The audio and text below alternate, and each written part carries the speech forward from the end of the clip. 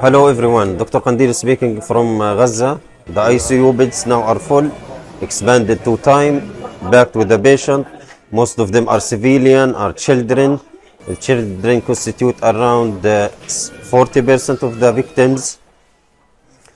Uh, not like other escalation here in Gaza, there is no medical aids reach the Ministry of Health.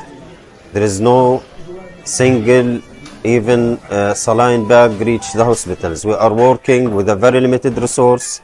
We are taking now a very hard decision.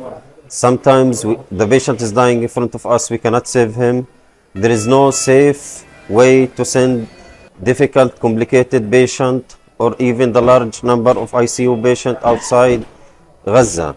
So as a medical professionals, as a critical care consultant, I'm sending a call for people in South Africa. Uh, if you, there is a lot of uh, uh, uh, association from South Africa, like Gift of the Givers Foundation. They are working with us from the start time, and our situation is very. This is like a catastrophic situation.